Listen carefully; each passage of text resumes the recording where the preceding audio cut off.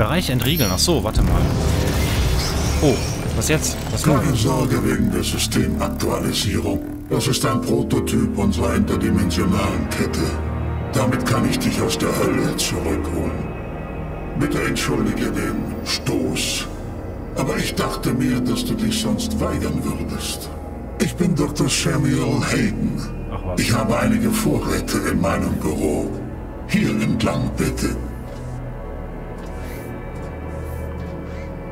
Dr. Samuel Hayden, wie er leibt und nicht mehr wirklich lebt. Vorräte im Büro. Okay. Willkommen, Dr. Hayden.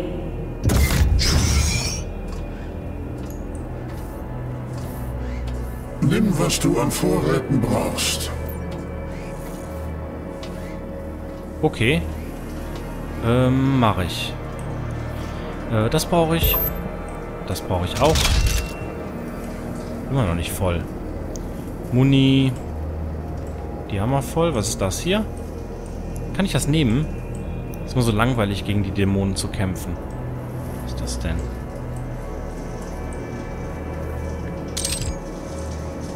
Die Zerstörung des Argent Towers ist verheerend. Aber ich bin bereit, dir zu helfen, das Portal zu schließen.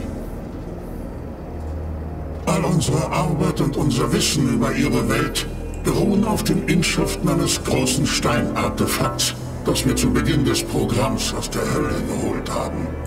Wir nennen es den Helixstein.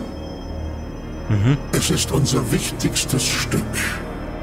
Olivia war besessen davon. Der Stein hat uns verraten, wie man die Energie der Hölle manipuliert und für sich nutzen kann. Außerdem hat er uns zu dir geführt. Der Helixstein hat uns geholfen, die Macht des Brunnens einzufangen. Ich bin überzeugt, dass er dir zeigen wird, wie du den Brunnen stilllegst. Olivia hat den Helixstein schon seit Jahren in ihrem Büro in den Lazarus-Laboren.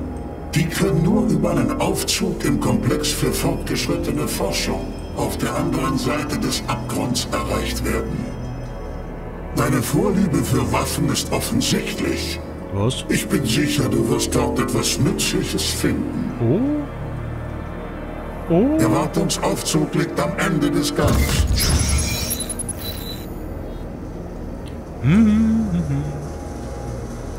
Rieche ich da vielleicht die BFG? Und hast du einen Hebel hier?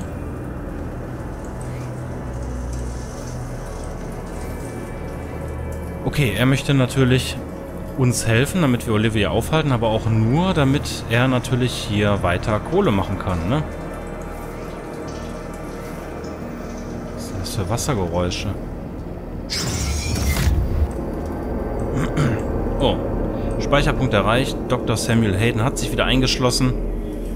Und ich komme hier auch nicht mehr zurück.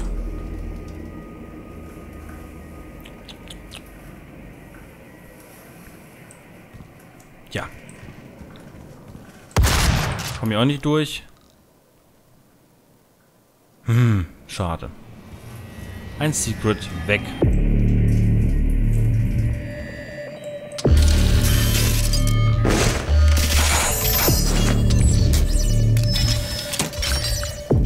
Kann ich hier was machen? Hier kann ich nichts. Hier kann ich nur wirklich hier durchgehen und das...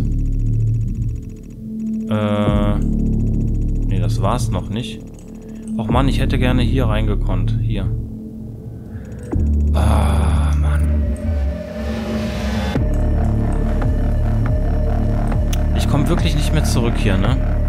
Äh. Äh. Nee. Nix. Gar nix. Na super.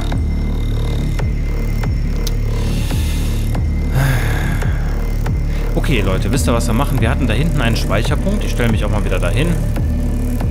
So. Und ja, das schon genau. Ich mache jetzt mit der Aufnahme hier Schluss. Und wir gehen ähm, in der nächsten Aufnahme rüber in den Komplex von Olivia. Und ähm, ich vermute ganz stark, dass wir da die BFG, die Big Fucking Gun, bekommen. Ähm, in den Waffenlaboren von der ja, von, von der UAC. in den Waffenlaboren der UAC natürlich. Ähm, aber das äh, schauen wir uns an der nächsten Aufnahme an, weil hier ist eigentlich ein ziemlich guter Punkt zum Aufhören, finde ich. Äh, daran kann ich mich erinnern, dass wir gerade Samuel Hayden getroffen haben. Deswegen sage ich jetzt hier an dieser Stelle bis zum nächsten Mal. Wir sehen uns, macht es gut und tschüss. So, weiter geht's bei Doom. Wir haben gerade Samuel Hayden getroffen. Ich erinnere mich tatsächlich, obwohl ich nicht in die letzte Aufnahme geguckt habe. Und hier ging es nicht mehr raus. Mann, Mann, Mann. Ich würde... Geht das wieder los. Ich würde da so gerne nochmal zurück. Naja, gut. Äh, Moment, ich muss aber trotzdem, nichtsdestotrotz und alledem, muss ich noch einmal schnell die Waffen durchschalten. So, auf 3 ist der, 4, jawohl, 5 Raketenwerfer. Jetzt lädt er die Texturen ziemlich langsam nach, ne? Komisch. Ähm, 7 ist das Ding, 8 war der und 9 gab's nicht. Okay. Na dann, wir müssen irgendwie mit dem Aufzug fahren oder ähnliches. Warte mal. Eben mal kurz hier ein bisschen Dosis reinpfeifen. So. Weil wir müssen ja hier irgendwie Aufzug rufen. Aufzug ist schon da. Dann fahren wir mal mit dem Aufzug ins nächste Level, whatever.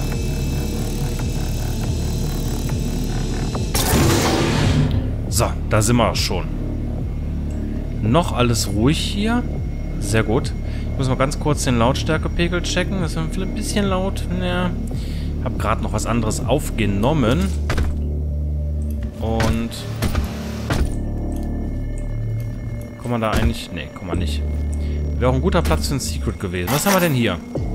Samuel Hayden. Nach seiner Wiedergeburt wurde Projektleiter der Argent, also wurde Samuel Projektleiter der Argent-Einrichtung. Er wurde als zu bizarr gesehen, den ersten Cyborg der Welt zum Chef des mächtigen Konzerns im Sonnensystem zu machen.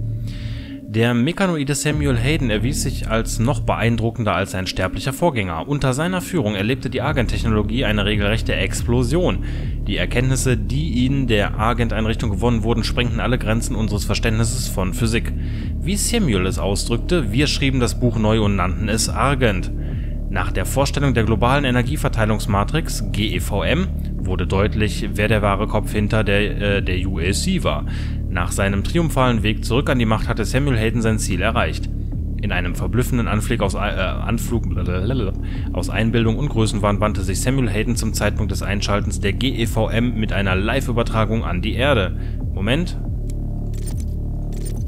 Äh, nein, da. Äh, Erde, da. Dabei ich kann aber nicht scrollen mit dem Mausrad. Menü. Dabei stand er vor dem Argent Tower und betätigte einen riesigen, dreieinhalb Meter großen Hebel, der die erste Ladung Argent an die Erde losschickte. Eine eindeutige Botschaft an das gesamte Sonnensystem. Es gibt nur einen, der euch Strom anschaltet. Einschaltet. Anschaltet. Ja, ein bisschen großkotzig. Wo sind wir denn jetzt hier? Obligatorischer Blick in die Karte. Wir sind eine Ebene runtergefahren. Und wir müssten gleich an einer Runenprüfung und an einem Fatzke vorbeikommen, wenn wir uns links halten. Ich glaube, links ist sowieso der richtige Weg. Ah, Benzin. Guten Tag.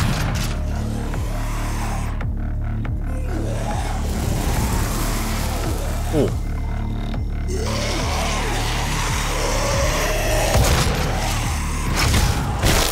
Geht schon direkt los hier. Die da drin sind auch schon schwer am Sicke.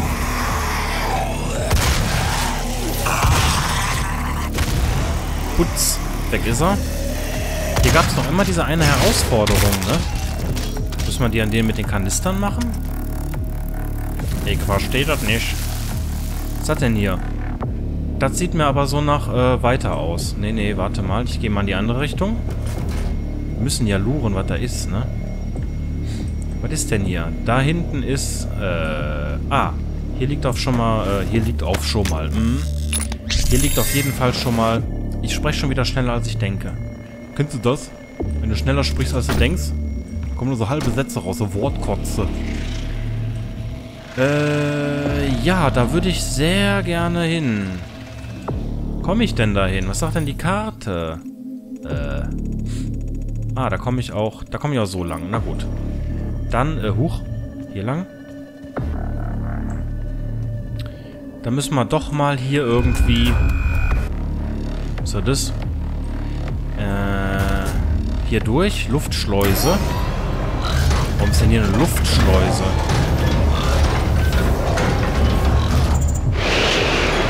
Speicherpunkt erreicht.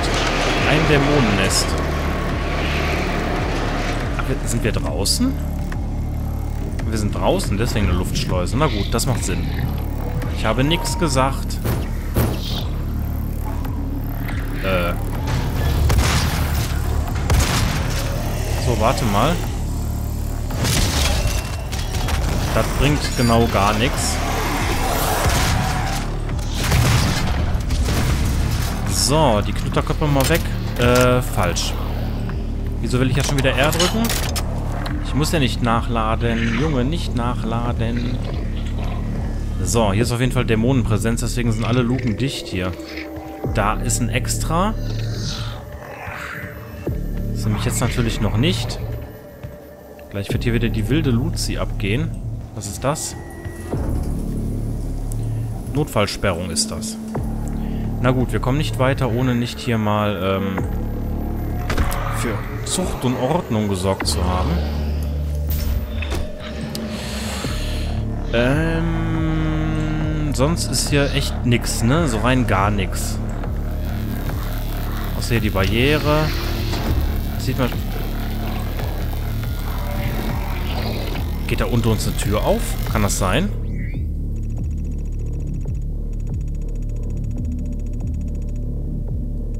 Hm.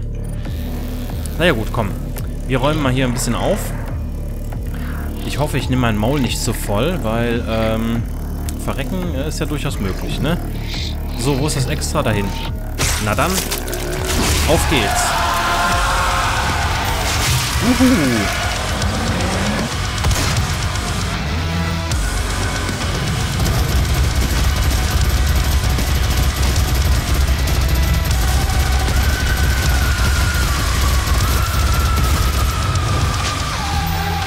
So, Cyberman Cubus. Was will er denn?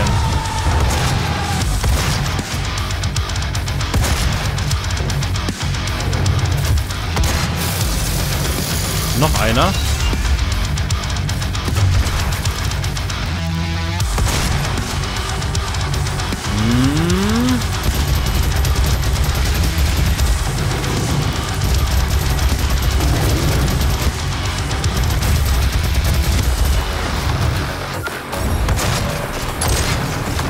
So, darf ich jetzt vielleicht auch mal, ähm...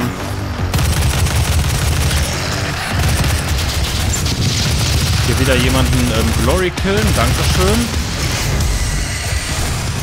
Damit die Rüstung auch immer voll ist. Oh, oh, oh, oh, oh, oh, Mann, Typ, reg dich ab. Lass uns darüber reden. Äh... Wann habe ich denn die Waffe gewechselt?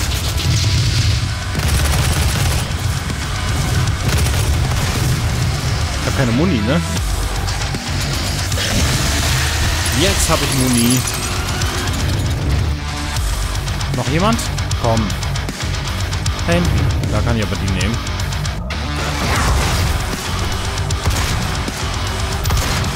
Mann. So, gib mal ein bisschen Rüstung. Dankeschön.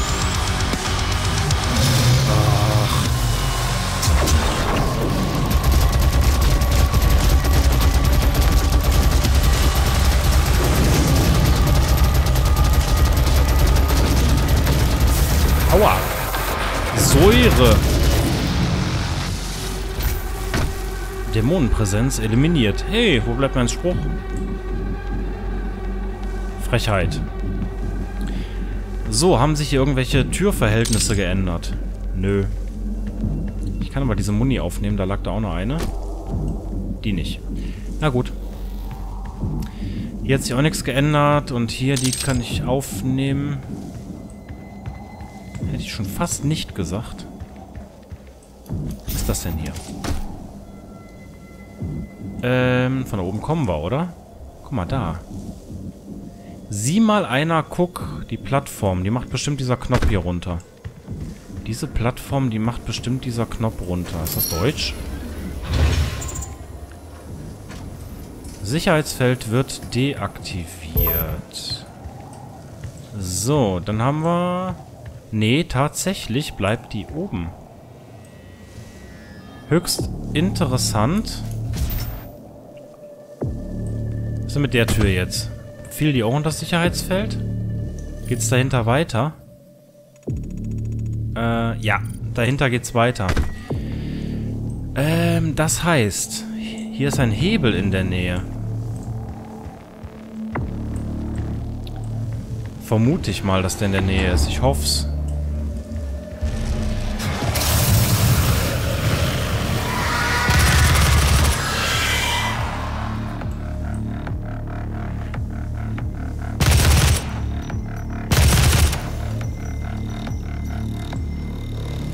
Na, komm. Ich sehe dich doch. Irgendwas bewegt sich hier. Das wird auf jeden Fall der Weg sein, den wir weitergehen müssen. Ähm, warte. Ich will mal eben was ausprobieren. Verdammt. Ähm, komme ich irgendwie von hier auf noch eine höhere Plattform? Nee.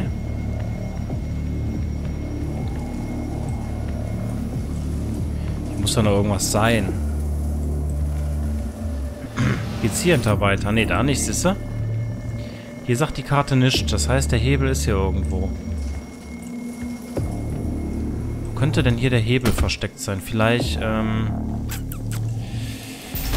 Also eigentlich theoretisch, wenn wir hier weitergehen, dürften wir nicht weiterkommen. Nee, genau.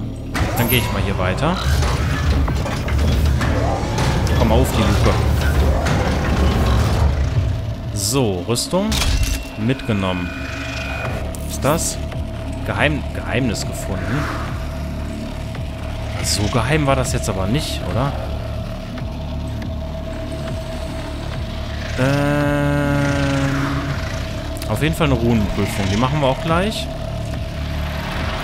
Aber erstmal Oh. Was ist denn das? Super Turk Turbo Turkey Puncher. Äh, ich konnte auch da gerade irgendwie E drücken. Äh. Enter Schlag. Ähm. Äh, ja. Okay. Ich kann Truthähne verkloppen.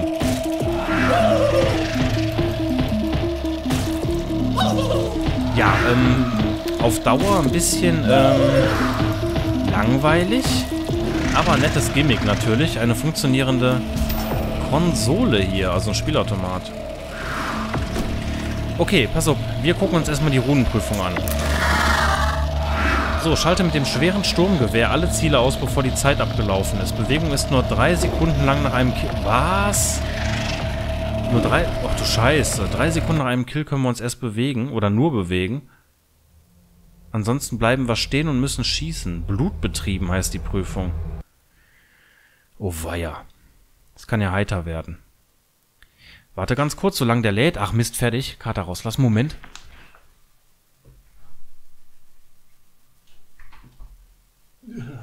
So, Entschuldigung. Immer wieder dasselbe, immer wieder dasselbe. Mann. Äh, so, Stuhl zurechtschubbern und los geht's.